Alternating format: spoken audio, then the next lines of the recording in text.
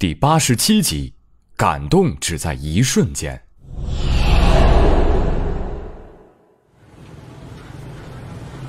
男人和女人之间的感觉很奇怪，有时候感动并不是因为多大的钻石或者是房子，因为当你已经拥有了那些东西时，他的精神可能会回归本真。杜曼雪就是这样，就因为刚刚在过马路时莫小鱼的动作，杜曼雪忽然有点感动了。坐在小铁桌前，不自觉地掏出纸巾擦了一下眼睛。莫小鱼也确实是饿了，要了一百串烤串，自己在旁边架上的小火炉开始烤。烤好后，先递给杜曼雪吃。杜曼雪给莫小鱼要了啤酒。哎，你不喝吗？莫小鱼问道。不喝，我很少喝酒。杜曼雪道。不应该呀。哎，你们不都是久经考验的干部吗？哈。一人一瓶怎么样？莫小鱼说道。怎么想灌我啊？我告诉你啊，你要是有什么企图，你趁早死了这份心，否则……杜曼雪看了看周围，又小声的说道：“否则让你一辈子做不成男人。”莫小鱼笑了笑：“女人都能和你开这种玩笑了，这还不是最好的证明吗？”哈哈哈你笑什么啊？哎，对了。对于这里的人来说，我们都是陌生人，我们说话也没人知道我们在说什么。哎，问你个事儿呗，你和姬可心到底什么关系啊？杜曼雪问道。莫小鱼看着杜曼雪，连吃烤串都是那么优雅。莫小鱼递给他的烤串，他从来不是拿起来就吃，而是先用纸巾把签子尖的那一截给擦干净，然后呢，把肉串都撸下来放在盘子里。然后再用签子插起来吃。那你认为我们是什么关系啊？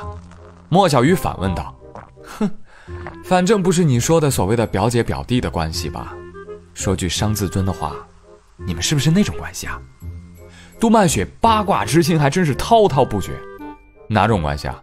莫小鱼装糊涂道。这就没意思了吧？聊天也不真诚。我要是问的太直白了，你可不要翻脸啊。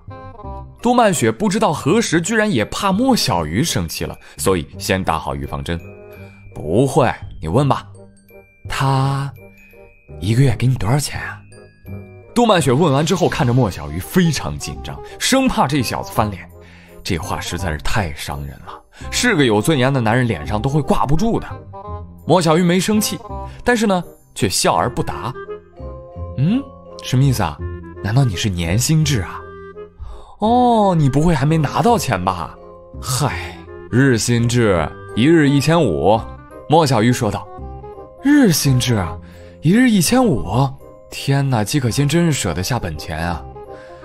不过也是，他有的是钱，光是每年的广告费就不少，还到处走学，小富婆一个。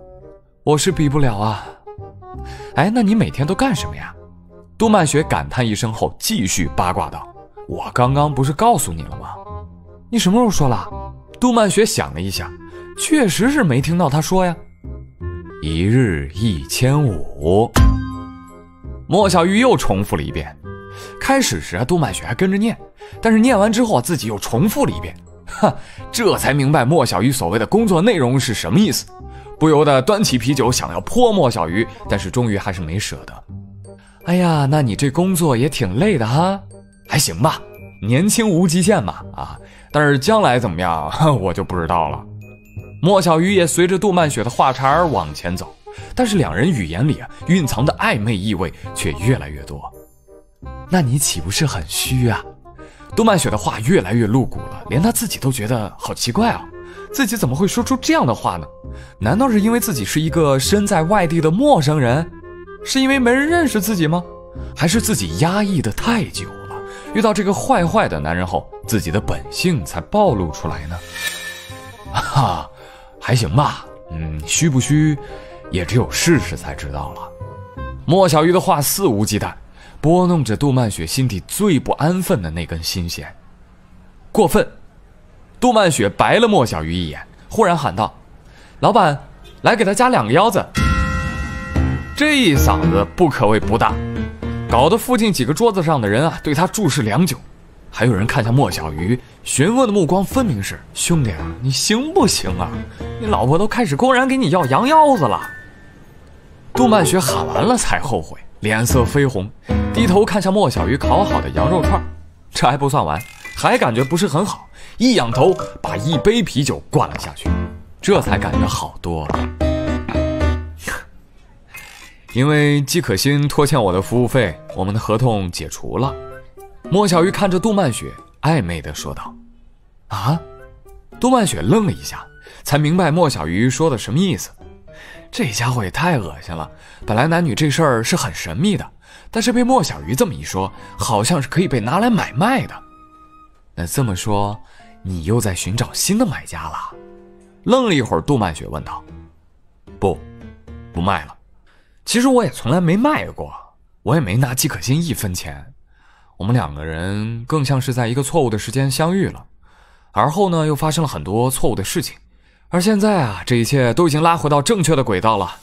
莫小鱼将所有的烤串烤完，端起酒杯和杜曼雪碰了一下，一饮而尽。啊，不明白，杜曼雪说道。于是莫小鱼将季可欣走时和自己的谈话内容和杜曼雪说了一遍。杜曼雪沉默了，此后，两个人再也没有谈论过这件事儿，彼此心照不宣。两个人吃完饭之后，一起回了酒店，但是莫小鱼没有回自己的房间，死皮赖脸的跟在杜曼雪的身后，直到杜曼雪进门要关门了，莫小鱼倚在门框边不肯走。你不去睡觉吗？明天还要去龙门呢。杜曼雪脸色绯红，不知道是不是喝了酒的原因，但是她此时的内心挣扎尤为强烈。莫小鱼倚在门边，杜曼雪准备关门，但是此时杜曼雪的鼻腔里闻到了一种淡淡的香味这种味道好像具有一种神奇的魔力，就像是一个饥饿的人闻到了饭菜的味道，不由自主地追随着味道的方向前进。杜曼雪的身体不由得向前，再向前。一直到了莫小鱼的身边，这种味道渐渐强烈，一直到他无法自拔，自己靠在了莫小鱼的肩头，伸直了自己的脑袋，鼻息贪婪地吸收着来自异性的味道。这味道让他迷醉，整个人好像是在云端漫步，身上的几十万颗最敏感的神经元传递着来自大脑的愉悦，真可谓是四肢百骸无不瘫软。杜曼雪再难逃出莫小鱼的手掌心了。